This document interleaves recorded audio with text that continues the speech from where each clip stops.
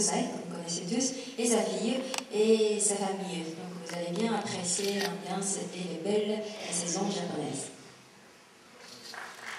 Avant Nisoxa, j'ai réalisé un film qui s'appelle Calafeu. Donc dans ce film euh, euh, ce que j'ai essayé de faire, c'était d'utiliser le moins possible les expressions, les techniques, les méthodes qui sont propres à l'animation.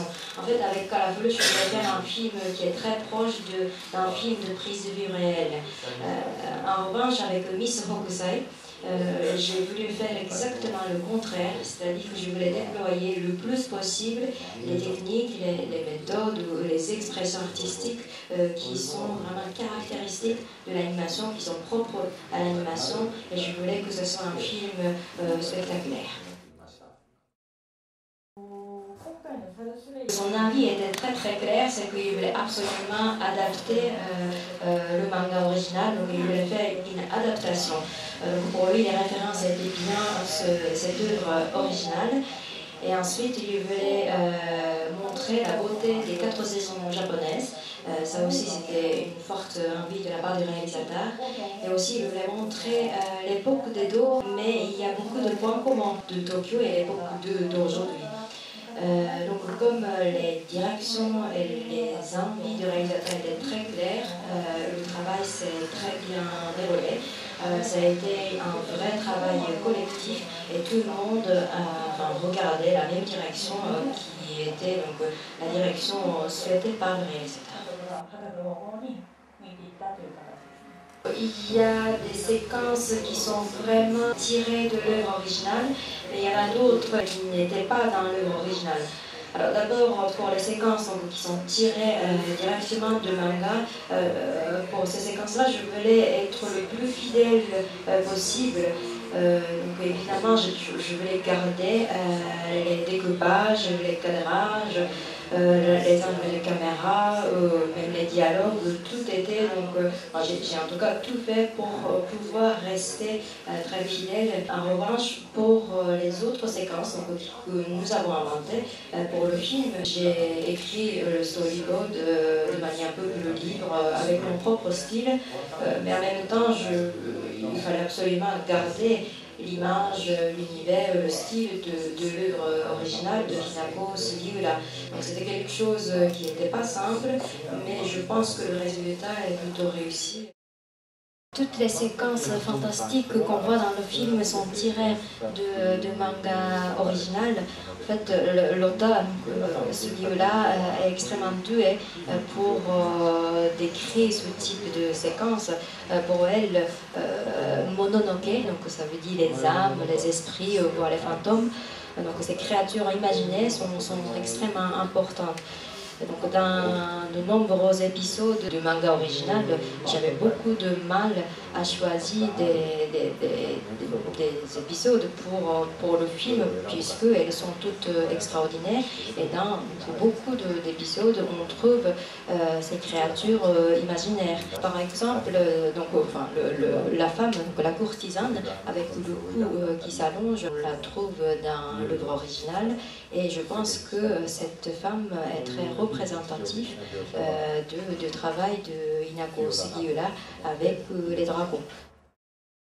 Dans le manga original, la partie inférieure des lèvres d'Oe n'est pas très épaisse. Euh, donc c'est en fait c'est ce que j'ai fait pour le film. L'héroïne était appelée euh, en japonais, donc le menton, puisque son menton sortait. Donc ça c'est un un fait historique. Mais le réalisateur arabe m'a demandé euh, de faire le design de Oe plus joli que qu'elle était réellement. Et du coup, on ne pouvait plus appeler Oe euh, menton. Euh, finalement, je voulais quand même garder ce côté donc, de son menton qui sortait et la solution que j'ai trouvée, c'était un peu d'agrandir de, la partie inférieure des lèvres. parfois, la forme des lèvres change, c'est vraiment pour montrer les deux côtés opposés de Oe. Gentil et très fort. Il y a deux raisons euh, pour le choix de, euh, de cette musique rock. Euh, D'abord, Oe, le personnage principal, pour moi, elle était très rock'n'roll. C'est pour ça que je voulais utiliser cette musique.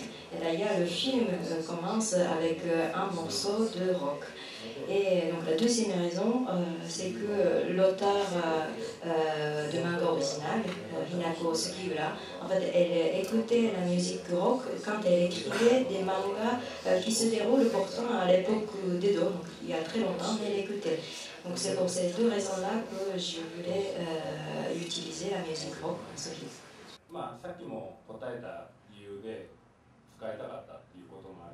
De manière générale, euh, en ce qui concerne la musique de film, euh, moi ça ne m'intéresse absolument pas à utiliser une musique très ordinaire parce que je veux toujours surprendre euh, le public. Je pense qu'il y a des musiques qui, sont très surprenantes, donc qui, qui conviennent pas a priori à l'univers du film, mais finalement qui conviennent parfaitement. Euh, et aussi, je voudrais euh, quelque part euh, provoquer euh, le public. Donc, en, en tant que, euh, que cinéaste, j'ai toujours cette envie de, de faire un peu de provocation. 監督として挑発したいというあの考えがいつもありますね J'ai beaucoup contribué à décider euh, la composition de l'équipe euh, de ce film. Euh, J'étais tout à fait d'accord avec le réalisateur sur le fait qu'on pourra faire appel à beaucoup de, femmes pour faire ce film. C'est vrai que parmi notre équipe artistique, technique, il y avait beaucoup de femmes. Alors, quand on parle d'une société, on a tendance à, à penser plutôt à une société très masculine. Mais quand je vois ce qui se passait à l'époque euh, euh, donc, qu'on voit dans le film, ou même à l'époque d'aujourd'hui, je constate que ce sont quand même les femmes qui sont euh, euh, même plus fortes, elles sont très fortes. Je ne parle pas seulement de la force euh, psychologique, euh, même sur le plan physique, elles sont très fortes. Et comme on voit tout à fait dans le personnage de Oe, euh, les femmes ont souvent une forte volonté et une forte conviction. Et quand je observe le monde actuel, il y a beaucoup de personnes euh, clés euh, qui bougent le monde et qui sont en fait des femmes. Donc dès le départ, euh, je voulais qu'on travaille surtout avec des femmes et le réalisateur, le réalisateur était totalement d'accord avec ça. Lorsque la productrice m'a proposé de travailler sur ce film, elle m'a expliqué qu'en fait elle cherchait une metteur en scène. C'est comme ça que voilà, m'a fait, elle m'a proposé. Et quand je travaille d'habitude, je ne fais pas vraiment attention au fait que je sois une femme, euh, mais sur ce film-là, c'est vrai qu'il y avait beaucoup de femmes euh, dans l'équipe. Et aujourd'hui, euh, je pense que c'est vraiment grâce à la force féminine que le film est devenu aussi intéressant. Je parle de, la réaction du public, beaucoup étaient extrêmement contents parce qu'aujourd'hui, même si on vit euh, à Tokyo, nous connaissons finalement très peu euh, le monde de l'époque d'Edo, euh, donc l'ancien Tokyo. Et dans le film, euh, il y a beaucoup de, de descriptions des quatre saisons, de la nature très subtile comme le son du vent ou les cris des insectes. Toutes ces descriptions de la nature très subtile, c'est quelque chose que nous oublions très souvent. Euh, donc les spectateurs disaient que euh, en fait euh, ils se sont rendus compte combien ils oubliaient ces éléments de la nature et beaucoup disaient qu'ils voulaient revoir plusieurs fois le film.